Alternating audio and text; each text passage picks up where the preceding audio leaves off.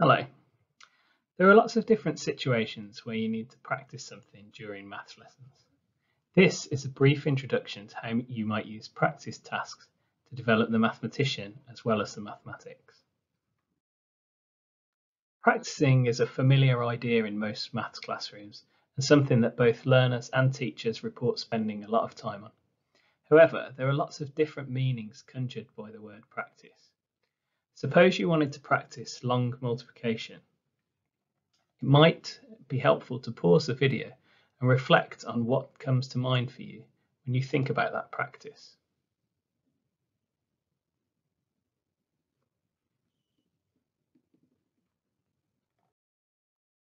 You might have imagined a certain type of textbook or worksheet practice, and it's not to say that there's no place for that kind of work and I personally have no problem with nice exercises, but I'd like to question whether learners might benefit from other types of practice. We want students to be fluent with procedures, and sometimes they just need to practice stuff. But what if we could practice in interesting ways that allow learners to develop as mathematicians, asking questions, making conjectures, being organised and systematic, and justifying their ideas? The role of attention is a key consideration when thinking about practice. An issue with some practice is the learner's attention is placed entirely on the skill to be practiced.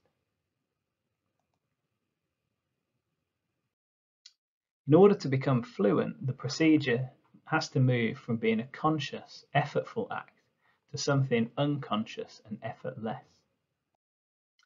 In this case, the attention is given to some higher level task with the practicing going on underneath.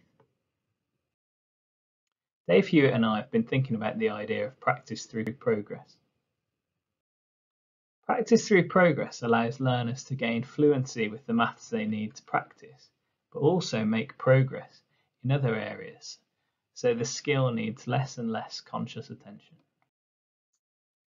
We've been thinking about this in two ways, progressing through the curriculum and progressing as a mathematician. We know that there's a lot of content in the curriculum, and the first type involves practicing old ideas through new content, kind of intrinsic interleaving. So once you've taught multiplying fractions, say, you make sure they crop up when you do area or perimeter, solve equations or draw graphs.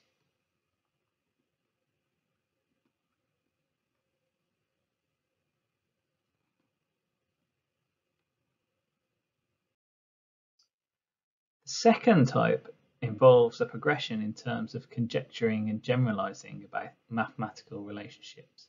And it's this second type I'd like to think about now. Let's think back to that imagined task on long multiplication. You might have imagined a page full of questions that looked something like this. It's likely when completing a task like this, the attention will be entirely focused on the process or getting the answer. What happens if people can already do this? What is to be gained from further practice? You might offer an extension, but this has the disadvantage of creating extra work and teachers might end up preparing extension material that's never used, or alternatively, only the fastest learners ever use. This could widen the learning gap and narrow the experience in some classrooms. Compare this with the following task. You might have noticed that the calculation uses the digits 5, 6, 7, 8, 9. If you rearrange these into a 3-digit by 2-digit multiplication, what combination gives the biggest product? How do you know? Is there a strategy for any 5 digits? Pause the video Try and notice what happens for you as you work on this task. What other questions could you ask?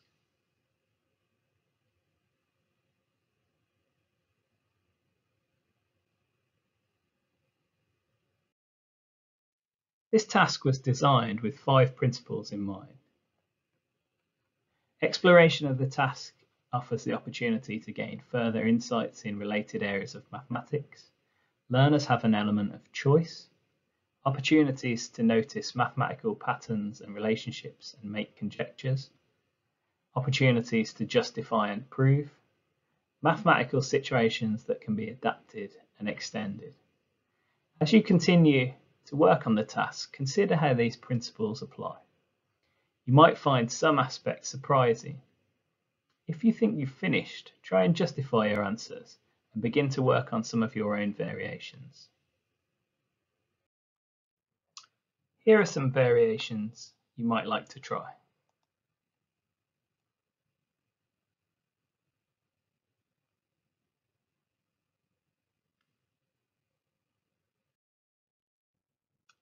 Reflect on your experiences of working on these tasks. What issues are around for you? What actions will you take going forwards?